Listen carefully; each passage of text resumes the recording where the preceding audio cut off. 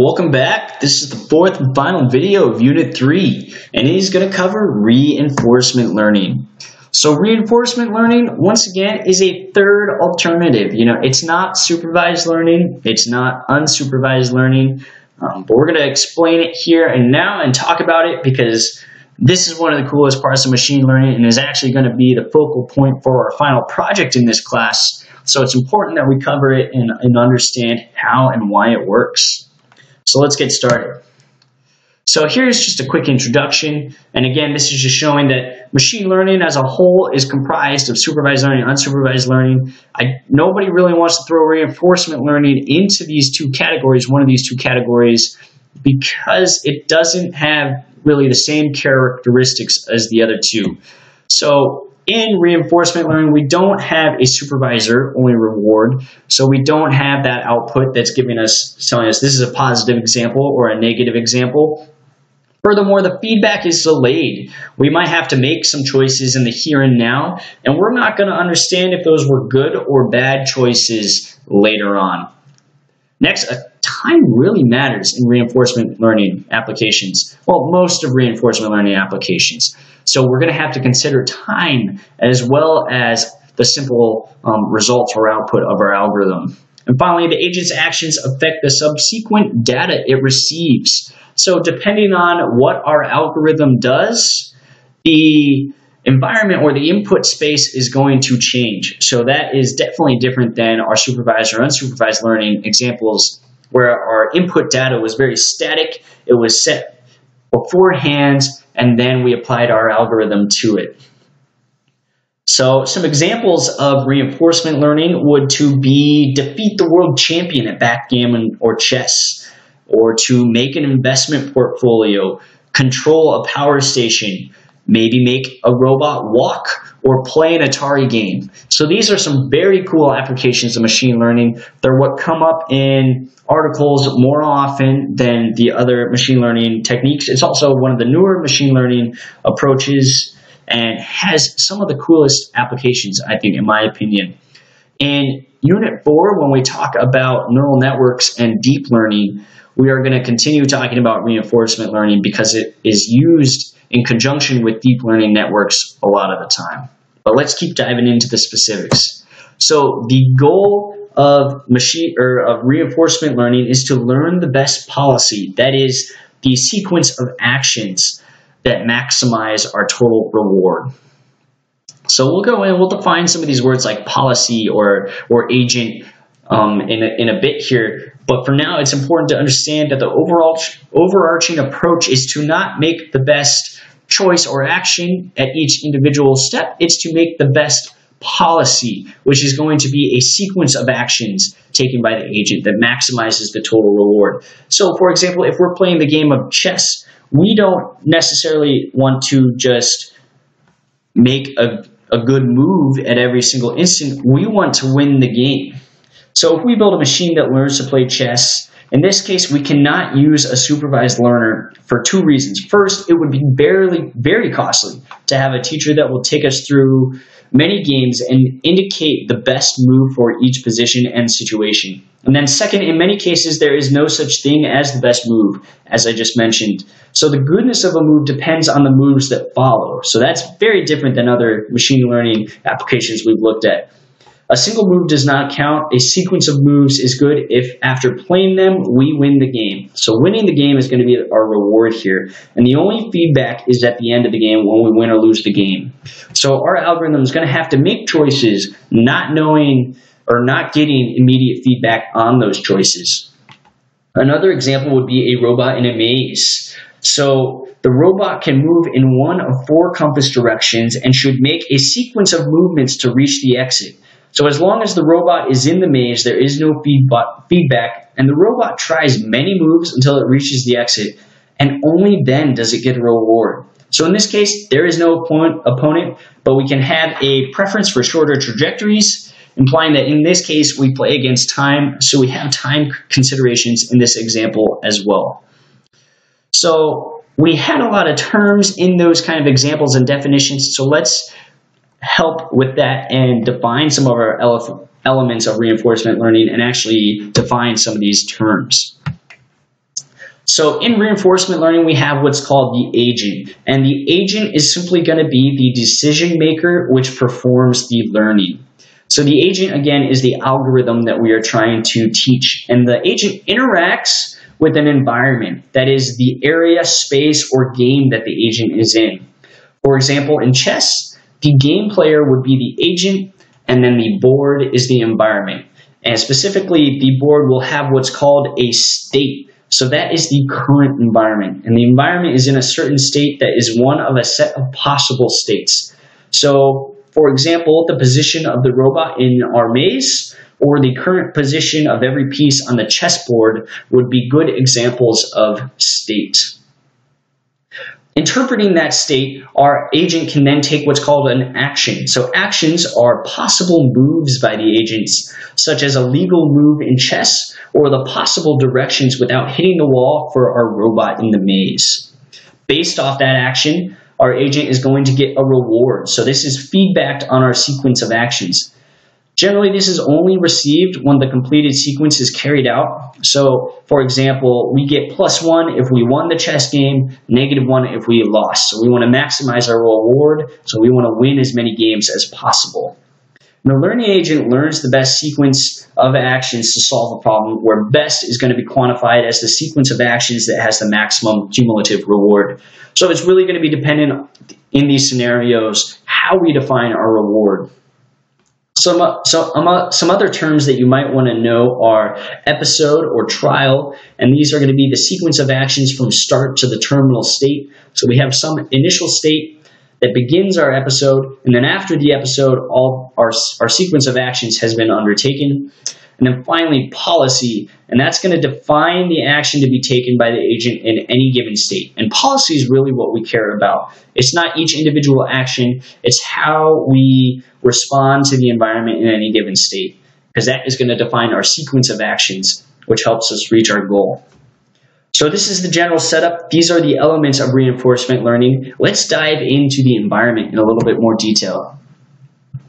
So the environment can really have two different scenarios. We can have fully observable environments. So this is going to be when the agent directly observes the environment state. And this is known as the Markov decision process, or MDP. And fully observable environments are when the agent has complete access, complete knowledge of the environment that it's in. So maybe it knows all of the rules of the game that it's playing, or it understands the complete map of the maze that it's trying to solve.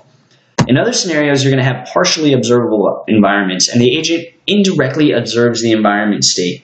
So, for example, maybe we have a robot that's trying to navigate through our maze, but the robot only has a camera and doesn't know its absolute location. So, the environment or the state is going to be dependent on the location of the robot, but the robot doesn't understand that. It doesn't know its exact location. So, this is going to be partially observable so the agent state does not equal the environment state. In this, this is known as a partially observable Markov decision process, or POMDP. And once again, the agent must construct its own state representation because it only has partial information here.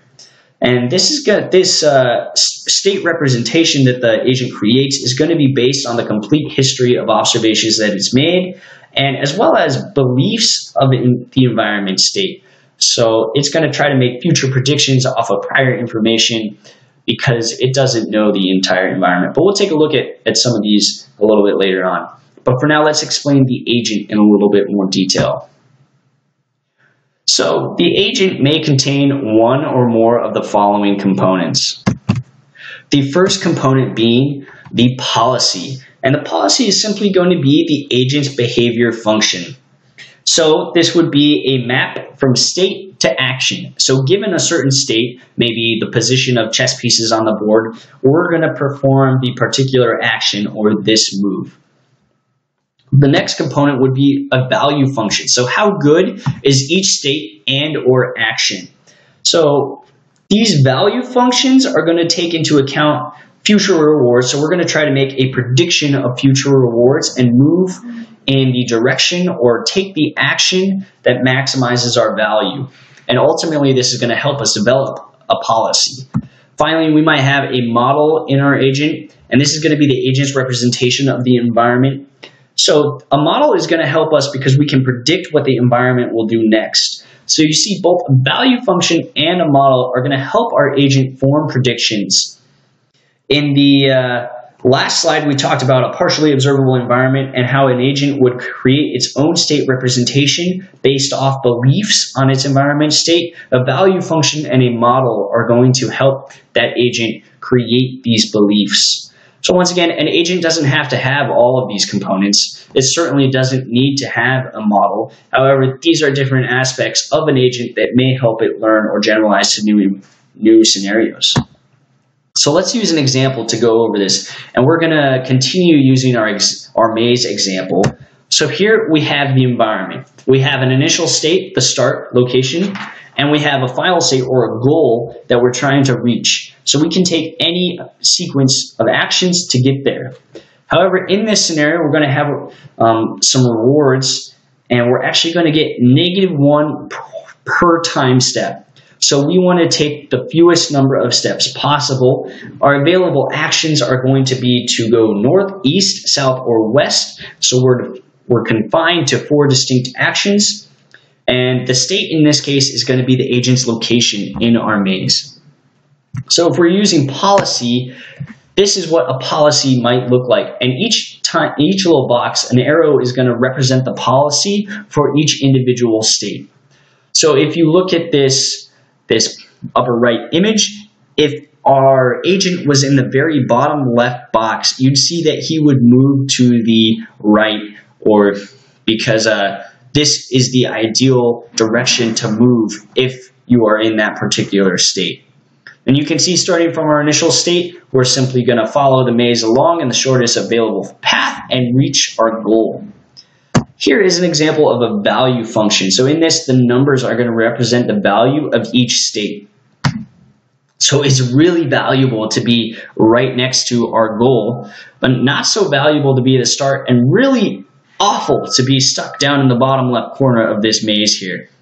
So we want to move in a direction where our future actions are going to have a higher reward, so we're going to want to move towards our goal. In the last case, we might have a model. So maybe our agent understands that this is the general route that it should go, but it's important to understand that the model may be imperfect. So in this model, there are a couple wrong moves in there. Maybe it takes a right turn right at the start of this maze. And, that, and that's going to be an incorrect model, but in general, this is going to make it to our goal. So these are the three different ways that an agent could solve this maze. It could use policy, it could use a value function, and it could use a model, although it may be imperfect. Um, or it could use a combination of these three. So let's move on, and we're going to talk about learning and planning a little bit, and how our agent actually can use reinforcement learning or use planning and beliefs about his environment to move forward. So these are the two aspects of sequential decision making, and reinforcement, again, is generally primarily concerned with sequential decision making. The first is reinforcement learning, second, planning. So in reinforcement learning, the environment is initially unknown. Um, this is if you don't have a model, you don't know what you're interacting with. Maybe you're playing an Atari game and you don't know the rules. However, the agent is going to interact with the environment. So we start playing the game and we get feedback from that. Maybe we won, maybe we lost. And generally, we're going to improve our policy as we continue to learn. So we're going to get better and better at playing the game, even though we weren't explicitly told the rules the alternative to that is planning, where the model of the environment would be known, and this could be maybe fully observable or partially observable. Um, so we may know all the entirety of the model, we know all the rules and all the best actions. Maybe we only know some of the rules and some of the actions. And then the agent is going to perform computations with its model and use those computations to improve its policy. So this is going to be when our agent is making predictions about the future or forming beliefs about its environment so that it can choose an action that it thinks is going to maximize its its reward beforehand.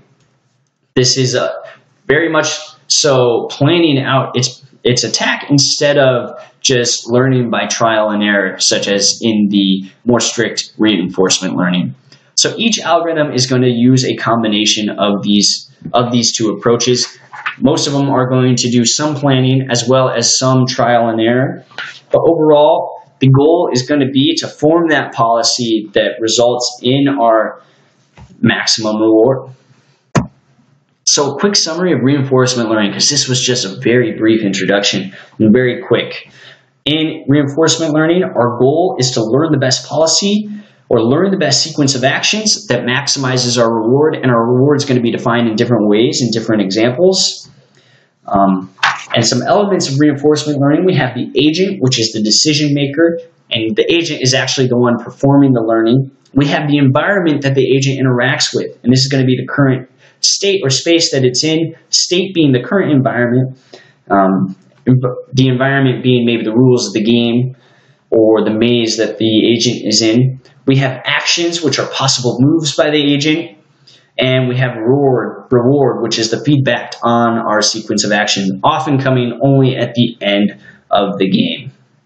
So this is reinforcement learning in a nutshell. Again, we are going to take a look at a reinforcement learning example using the Open AI Gym environment in Python in our final project. So we're going to help you understand this better by getting your hands dirty and actually programming a deep learning reinforcement algorithm. So stay tuned for that. That's going to be exciting and really help reinforce, pun intended, some of these concepts. Thanks for listening.